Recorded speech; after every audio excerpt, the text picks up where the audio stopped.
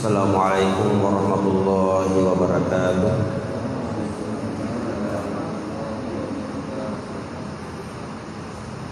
بسم الله الرحمن الرحيم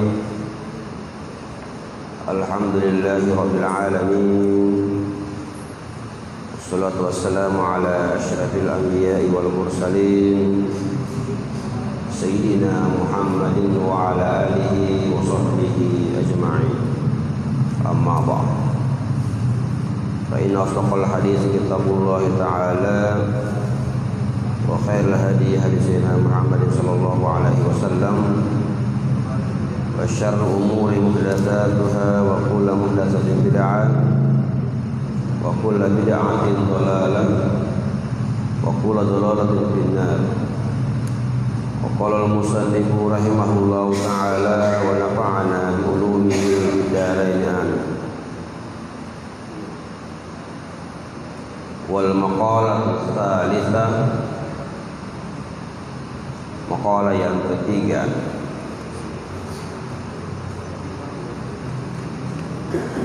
An Abi Bakr Siddiq radhiyallahu anhu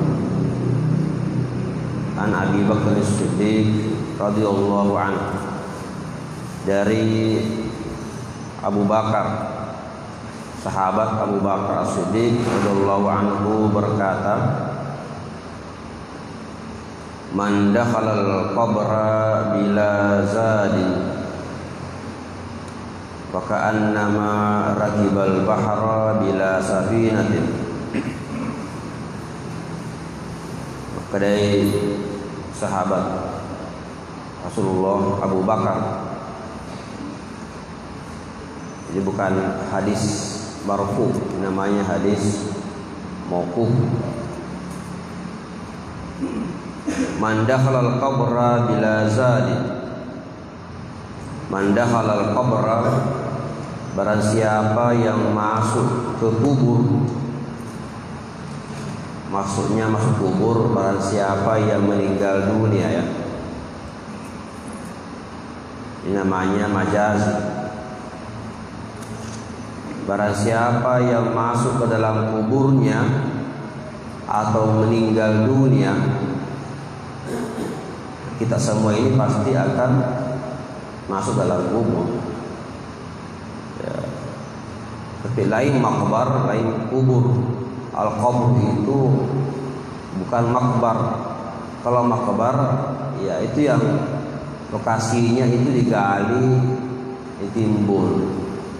Ada makbar di Sudiang, ada makbar di Barwangi, makbar di Samata, ya di Patalasan, Waqi'ah, makbarnya berurutan. Banyak makbar, penaikan. Tapi al-qabr itu bukan makbar. Ya. Orang yang wafat meninggal di laut, tenggelam, ada kuburnya. Ada alam kuburnya. Di mana malaikat mungkar dan nakir akan datang di sini berkunjung ke kuburnya. Tapi makbarnya di laut. Makbarnya ada orang yang tidak di tanah tapi hancur di di atas udara. Misalnya ada orang yang pesawatnya meledak di atas udara. Tubuhnya ikut meledak di atas dalam pesawat, hancur tidak ada tersisa. Di mana makbarnya? Ya. Ada orang yang dimakan ular misalnya, ditelan ular, hancur dalam tubuh ular atau buaya. Di mana makbarnya? Yaitu dalam tubuhnya ular itu. Tapi kuburnya al-qabru itu beda dengan makbarnya. Orang bisa saja makbarnya di tanah, di kuburan, digalikan dengan lahat. Bisa saja makbarnya di dalam laut, bisa saja makbarnya itu di dalam perut binatang. Bisa saja makbarnya itu ada di udara. Ya, tidak sampai ke tanah hancurnya. Dan macam-macam. ya tempat meninggalnya orang di mana jasadnya itu tersimpan hancur tapi kuburnya pasti ada namanya alam alam kuburnya mandakhlal qabra barang siapa yang masuk dalam kubur bila sadin tanpa bekal degaga bekalna degaga bokonna na TV. Tama di kuburuna wah. Tidak ada persiapan. Ya tidak pernah mempersoalkan tidak pernah memperhatikan apa yang mau dibawa ke alam. Ya. sementara manusia ini sebenarnya adalah berjalan. Tidak singgahin jalan terus ini kita ini berpindah dari alam satu ke alam yang lain. Dari alam arwah ke alam rahim alam rahim ke alam syahada alam dunia. Dan sekarang ini kita berjalan lagi ke mana ya menuju ke alamul kubri atau alamul barzakh dan semua alam itu harus ada bekalnya. Apa dibawa siapa-siapa orang yang masuk kuburnya tanpa bekalnya apa bekalnya orang masuk dalam kubur? Apa bekal kematian? Ai minal amali salih, yaitu amal saleh. Amal saleh bukan cuma ibadah, bukan cuma zikir. Amal saleh itu juga adalah amal-amal yang memberi manfaat kepada orang lain, memberi manfaat kepada umat, memberi kebaikan kepada orang-orang di sekitarnya, kepada keluarganya, kepada kerabatnya, kepada masyarakatnya, kepada negaranya. Itu semua amal-amal saleh. Ya. Ada yang hablum minallah, ada juga amal saleh yang terkait dengan hablum minan nas. Seorang insinyur diberikan amanah untuk membuatkan orang gedung ataukah jalanan ataukah jembatan lalu membuatkan desain perencanaan yang baik tidak mencoba mengambil keuntungan dari pekerjaan itu cukup dengan apa saja yang diberikan sebagai gajinya tidak korupsi dari situ membuatkan jembatan yang baik ya sesuai standar buatkan bangunan yang sesuai standar maka itulah termasuk amal salehnya walaupun dibayar. Kenapa disebut amal saleh padahal dibayar pun jadi gaji? Ya karena ada kemungkinan kalau dia mau dia berbuat yang curang.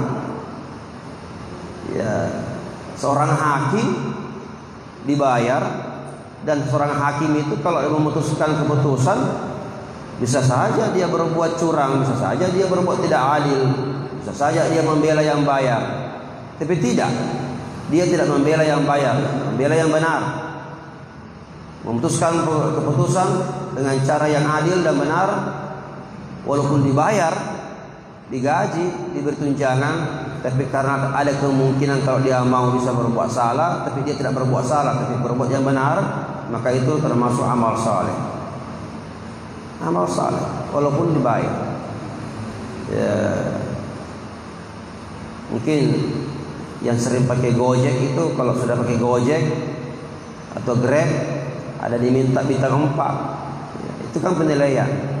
Saya bintang 4 kenapa? Karena sikapnya pengemudi baik tepat waktu ya tidak macam-macam. Walaupun dibayar tapi kalau pekerjaan itu dilakukan dengan cara yang baik dan memberi manfaat menyenangkan orang lain menyenangkan penumpangnya, menyenangkan customernya, tidak menipu dan tidak menzalimi, memberi servis yang baik, itu termasuk adalah amal amal saleh. Ya.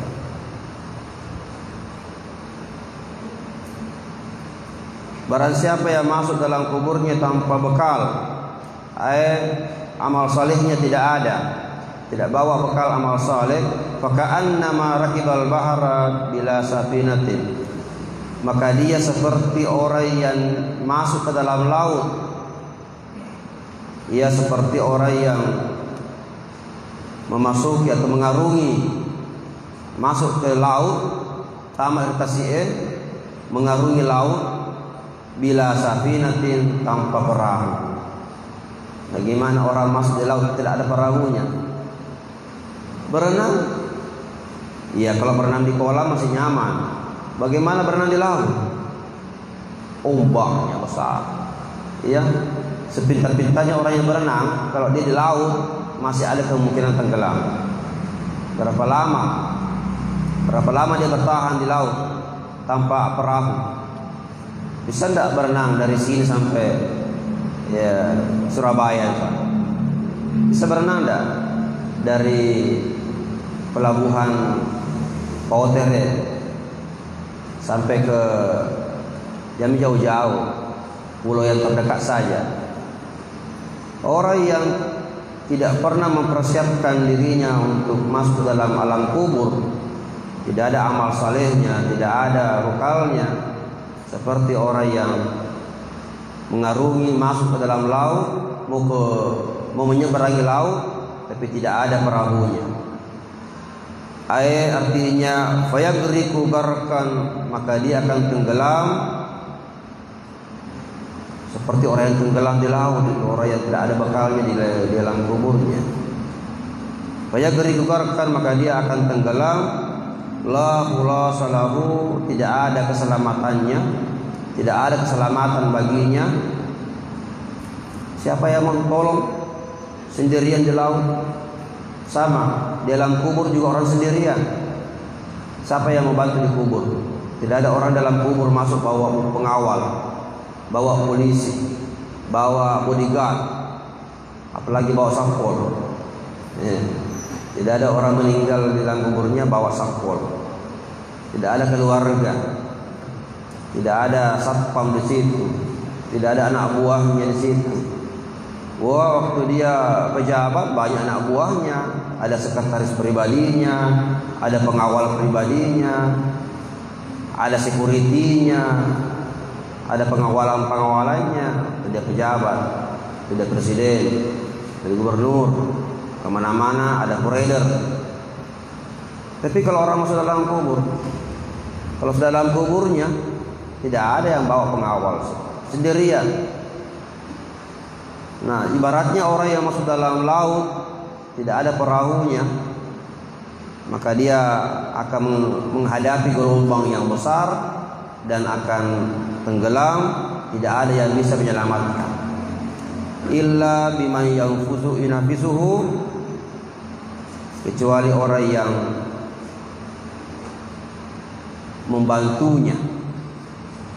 Siapa siapa yang membantu orang dalam kuburnya ketika dia tidak tidak ada bekalnya masuk maka bantuannya adalah kiriman-kiriman Al-Fatihah kiriman sedekah kiriman bacaan Al-Quran yang dihadiahkan kepada orang yang meninggal masih ada itu kemungkinan ditolong di situ dengan adanya itu.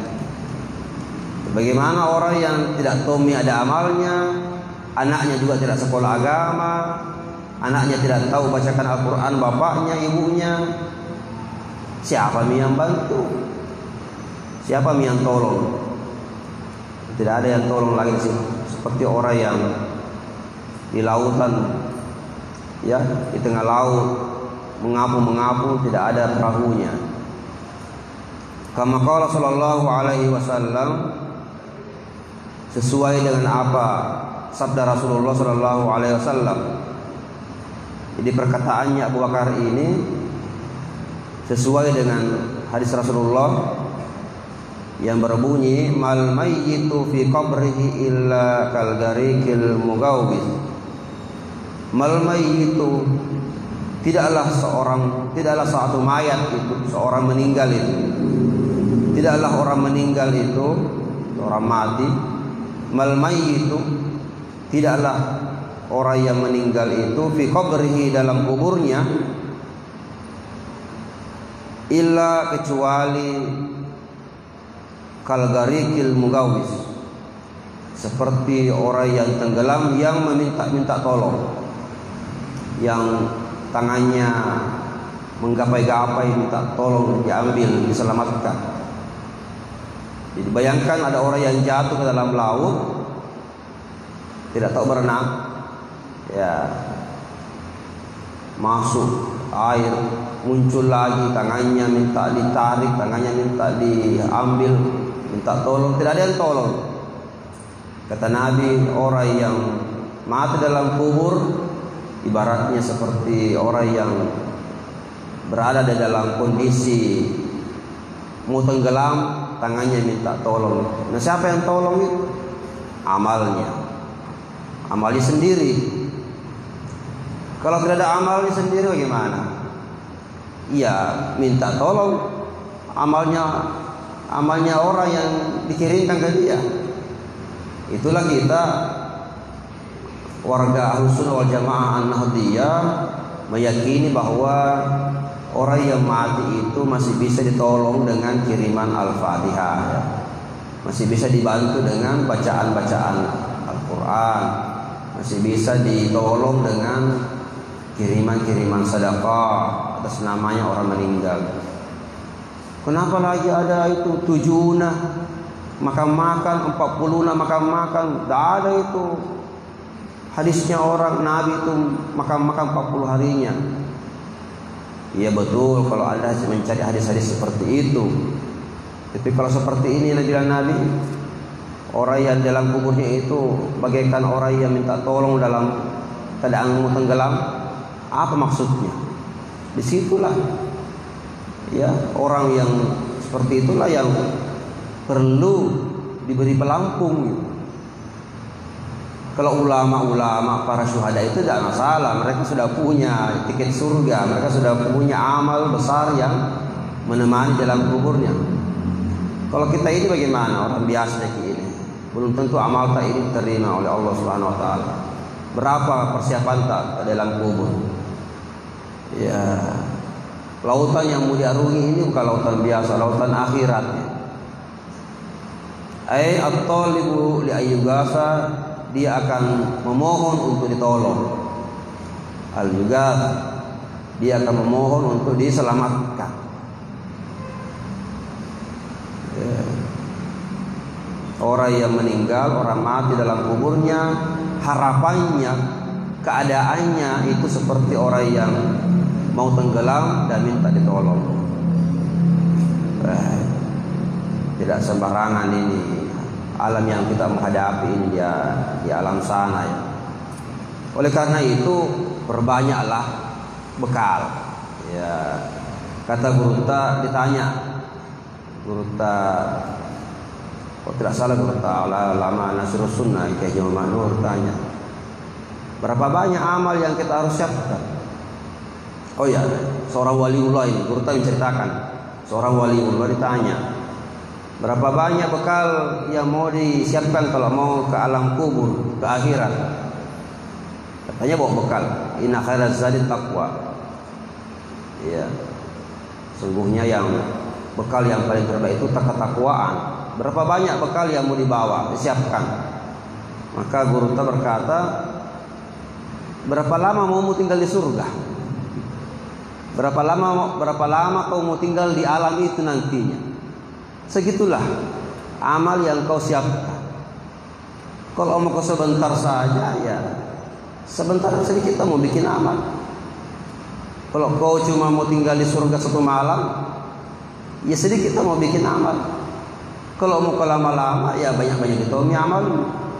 Coba dibiamin. Kalau kamu mau ke Jakarta, nginap di Jakarta di hotel. Berapa hari ke Jakarta? Tiga hari. Tiga hari itu berapa potong pakaian? Berapa besar koper yang kau siapkan? Tentu disesuaikan. Kalau satu hari di PPJ Jakarta Makassar bolak-balik satu hari tentu ya paling cuma bawa ransel, tas-tas kecil karena tidak menginap. Kalau mau nginap semalam tentu bawa ransel yang lebih besar karena ada pakaian pakaian pakaiannya, pakaian gantinya. Kalau mau seminggu lebih besar lagi kopernya. Kalau mau sebulan besar lagi kopernya karena bekal itu tergantung berapa lama kita mau tinggal di sini. Nah pertanyaannya, orang yang mau ke akhirat Berapa lama mau tinggal di akhirat? Ya. Katanya mau ke surga. Tuh, mau ke surga. Berapa lama mau ke surga? Berapa lama mau tinggal di surga? Ya mau lama-lama, Pak. Mau selama-lamanya. Terus bekalnya berapa? Masa bekal bekalnya satu hari baru tinggal 20 hari? Ya tidak mungkin. Masa bekalnya cuma satu minggu baru mau tinggal setahun? Ya tidak mungkin. Nah, berapa berapa banyak pokok berapa banyak bekalmu untuk akhirat? Ya tergantung mau, mau berapa lama tinggal di akhirat. Nah itu. Nah, kata Nabi orang yang di akhirat itu di kubur itu membutuhkan persiapan dan bekal yaitu al-amalus soleh amal yang soleh. Selanjutnya wal maqalatur rabi'ah maqalah yang keempat.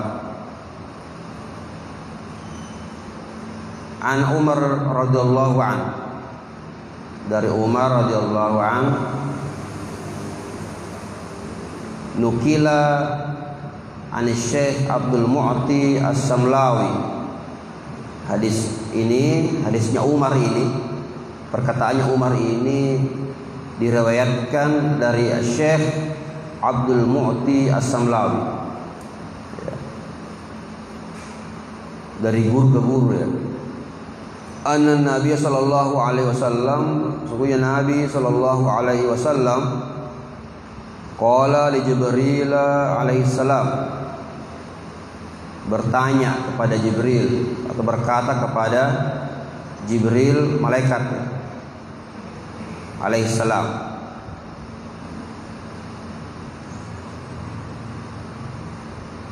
Sifli hasanati Umar.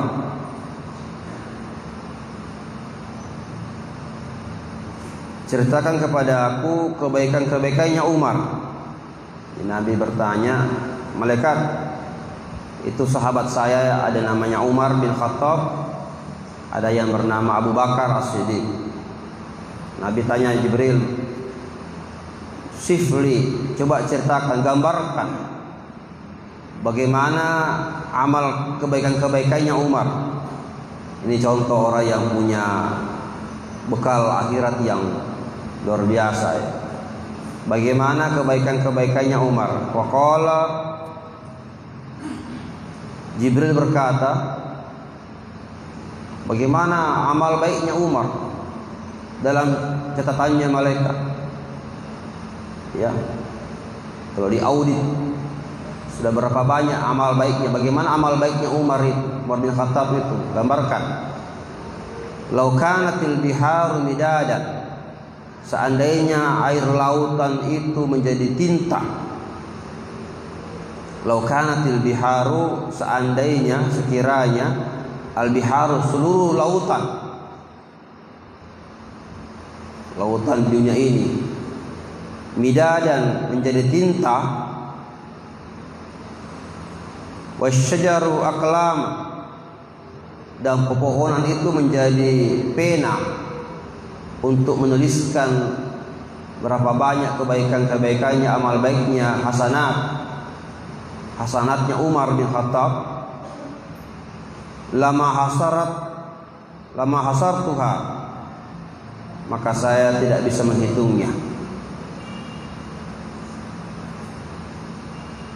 Lama hasar Tuhan sungguh tidak bisa terhitungnya.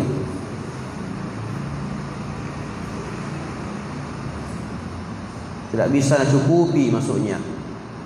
Ya tidak cukup, tidak cukup ini air lautnya dunia ini menjadi tinta untuk menuliskan kebaikan-kebaikannya, amal baiknya Umar bin Khattab saking baiknya banyaknya kebaikannya Pokola Nabi berkata lagi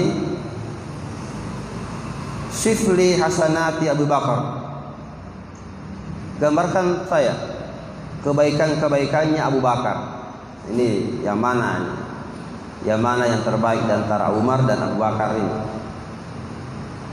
Sifli hasanati Abu Bakar Gambarkan saya kebaikannya Abu Bakar. Waqala Jibril menjawab, Umar hasanatun min hasanati Abi Bakar. Kebaikannya Umar itu adalah hanya salah satu dari seluruh kebaikannya Abu Bakar.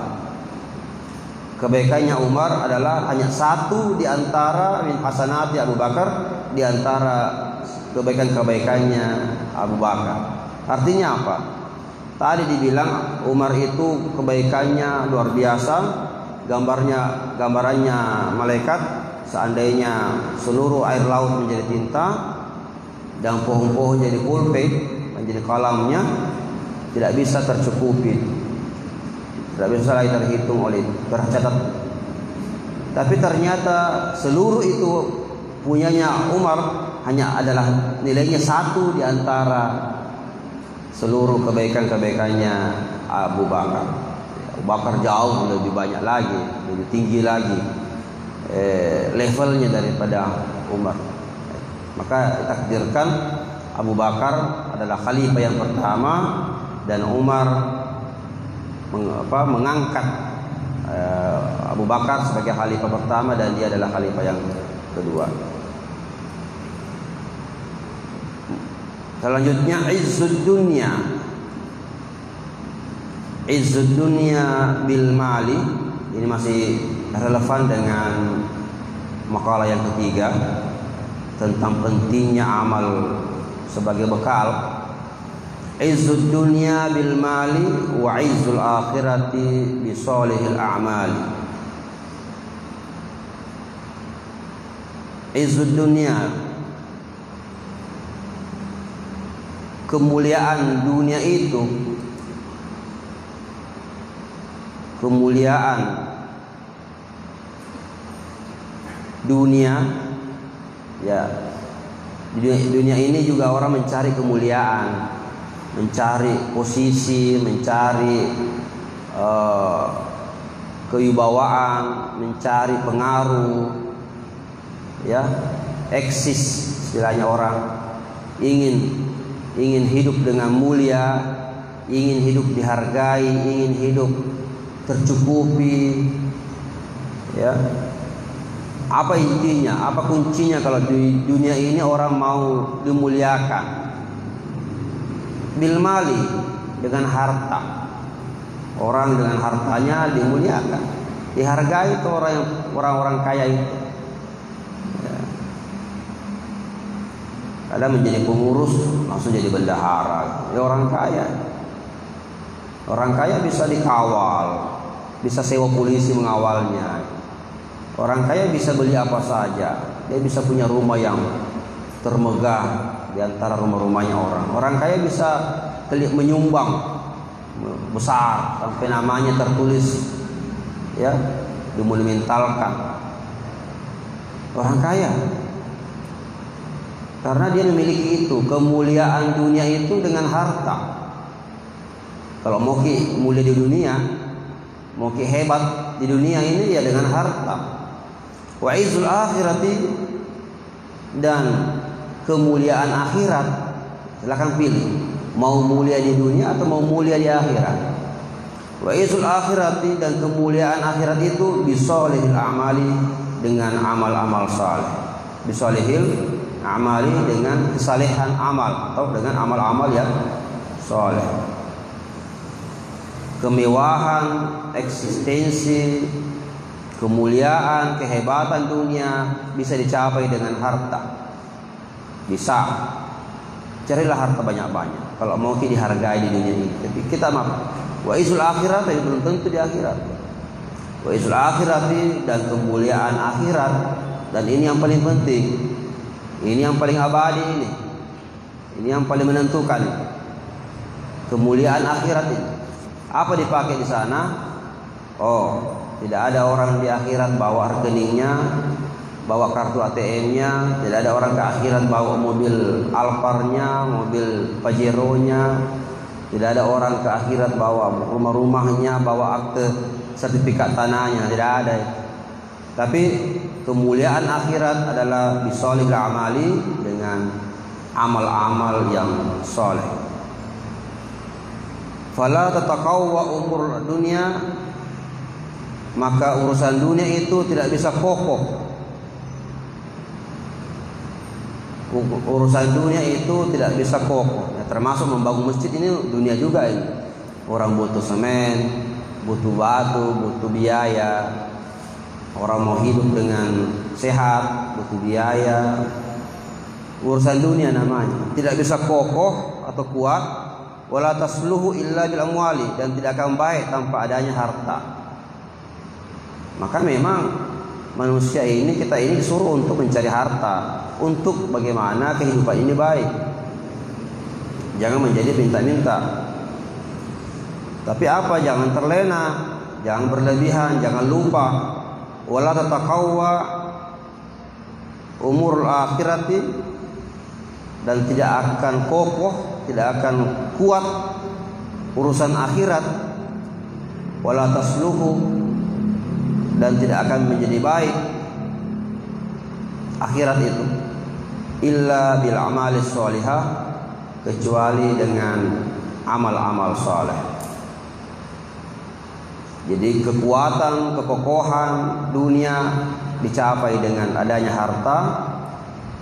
Tapi harta itu harusnya dipakai juga untuk mengokohkan kekuatan kita, kemuliaan kita, posisi kita di di akhirat. Satu lagi kita baca ini. Wala maqalatil khamisah. Maqalah yang kelima An Utsman radhiyallahu anhu dari Utsman radhiyallahu anhu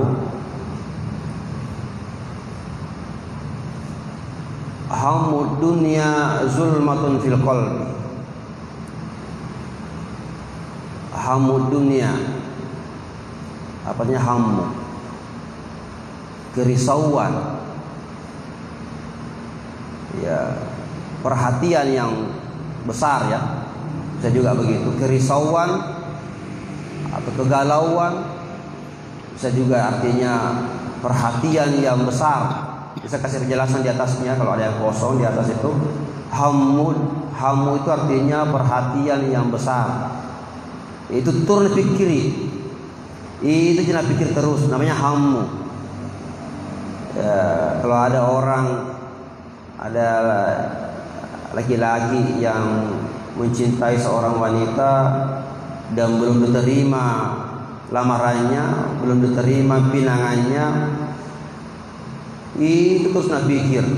Ya di mana pun dia ada pikirannya ke situ terus ke orang yang dia cintai itu yang dia mau itu.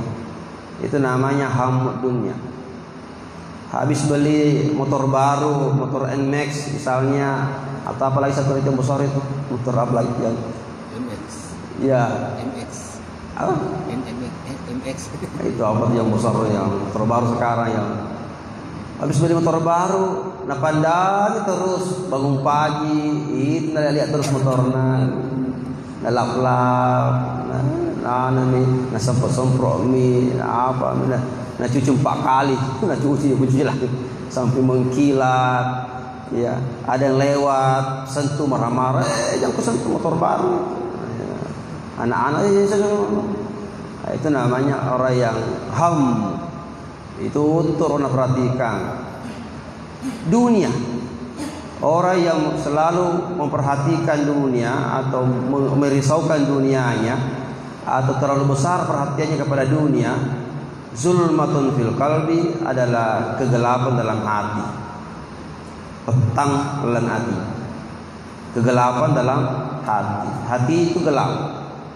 Tidak ada cahayanya. Kalau orang dipenuhi dengan pikiran perhatiannya kepada dunia saja. Dan apa aja tulina perhatikan kendaraanna, bolana, orang paranna, perhiasan-perhiasannya. Yang dicari adalah yang terhebat supaya bisa dibanggakan. Yang bisa dinikmati dengan nyaman-nyaman. Ya, dunia. Orang yang memperhatikan dunia terlalu besar sampai hamu itu di dalam pikirannya terus maka itu adalah zulmatun fil qalbi adalah petang lan atina petang lan ati kegelapan dalam hati. Sebaliknya, wahamul akhirah memberi perhatian kepada akhirat, merisaukan akhirat. Eh, berapa minyak amal? Bagaimana nih sembahyangku ini tidak beres-beres nih? Berapa itu sedekahku, amal jariah, ada itu wakaf, tidak ada persiapanku ini untuk akhirat ini. Umur sudah mendekati maghrib ini belum beres pi amal ibadah. Dia pernah sempajang lima waktu.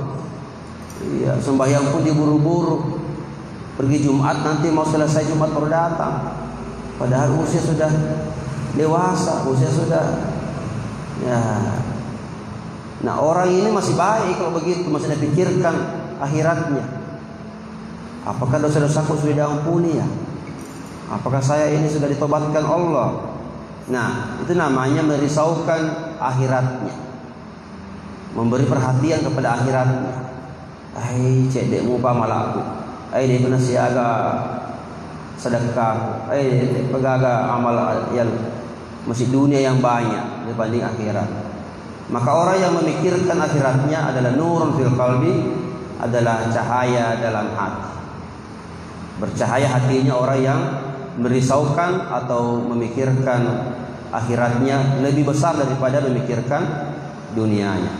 Ayat artinya Gurta Syekh Muhammad An-Nawawi memberi penjelasan Al-husnu fil umuri al-muta'alliqati bid dunya kesedihan kesedihan dalam urusan-urusan al-muta'allika yang terkait dengan dunia. Tu lima syarat tu nona aduh. Ya. Sedikit lagi ku dapat ini. Ya tidak ada ku dapat dapat. Ya. kurang lagi penghasilan dek sega pemasukan. Eh naik lagi harga. Eh PPKM lagi. Eh tutup lagi pasar. Itu namanya sedih dengan urusan-urusan yang terkait dengan dunia adalah musliman fil qalbi itu menggelapkan hati. Jangan terlalu bersedih dengan itu. Ya, kita pikirkan juga dalam arti mencari solusinya, tapi jangan husnu. Jangan sedih terus. Aja nama Sarah gara-gara Lino. Karena itu musliman akan menggelapkan hati. Selalu kurang, dina gene, dina gene, tidak cukup. Nah, kalaka ini orang banyak ada apa saya sedikit. Nah, itu namanya menzalimi dirinya atau menggelapkan hatinya. Wal husnu fil umur muta'alliqati bil akhirah. Wal husnu dan sedih bersedih fil umur muta'alliqati pada urusan-urusan yang terkait bil akhirati dengan akhirat. Nah, ini selalu merasa wah, sedih saya ini kenapa? Lewat sini saya tidak beramal. Ai selesainya pesantren jadi kerja. Dia pegang sumbang. Eh, berapa kali nih pimpinannya minta sumbangan? Tidak pernah gue sumbang. Nah selesai dibangun. Ah itu namanya sedih itu. Ah lewat sih kesempatannya siapa lagi mereka ya sedih dengan urusan akhirat sora munawiran il kalbi maka akan menerangi hatinya. Nah, hati ini yang dipakai untuk selamat, hati yang terang. Hati yang gelap tanda celaka gitu. Ditutup oleh Gurta dengan doa Allahumma la taj'al dunya akbaru hammina wala muballigha ilmina. Ma belaga ma belaga ilmina. Allahumma ya Allah la taj'al dunya jangan jadikan dunia ini ini jangan jadikan dino ini dunia ini akbar hamina sebesar-besarnya perhatian kami atau perhatian kami yang terbesar. Jangan jadikan dunia ini sebesar-besarnya perhatian kami. Iya perhatian diperhatikan karena kita kan mau makan, mau minum, mau mau berpakaian, mau belajar, mau bayar tagihan, bayar istri, bayar ledeng, bayar ini, pajak itu memang cari duit ya, cari uang. Tapi jangan menjadi akbarul hamina. Jangan menjadi itu yang terbesar perhatian itu. Bangun pagi, bangun subuh lino. Mau tidur lino juga. Ya. 24 jam dunia saja. Itu namanya dunia menjadi perhatian yang besar. Ya Allah, la taj'al dunya akbaruha mina. Jangan jadikan dunia ini sebagai perhatian kami yang terbesar. Wala mablaga ilmina dan menjadi tujuan daripada ilmu kami ini. Jangan jadikan ilmu ini tujuannya dunia. Wala mablaga ilmu aja menjadi tujuan daripada ilmu ilmu kami. Ilmu dan segala yang kami dapatkan jangan menjadi hanya untuk dunia saja dan untuk akhirat. Dunia mazratul akhirat. Dunia itu adalah sawahnya atau ladangnya akhirat, menanam dan nanti dipanen di akhirat. Kira ini yang kita baca pada hari ini. Selanjutnya guru kita berkata wal maqalatus sadisah an Ali radhiyallahu anhu radhiyallahu karramallahu wajhah man kana fi talabil ilmi kanatil jannatu fi talabi barang siapa yang mencari ilmu maka sebenarnya dia itu mencari surga wallahu a'lam Bismillahirrahmanirrahim. Alhamdulillah Allahumma Allahumma ilma Allahumma la Allahumma 'allamtana wa ma Rabbana min wa Rabbana sallallahu alaihi Al-Fatihah Kembali kita kirimkan Al-Fatihah untuk Anda Guru kita Ki Haji Muhammad Harisa beserta ibunda saya Haji Jawariyah Al-Haziniyah Al-Fatihah.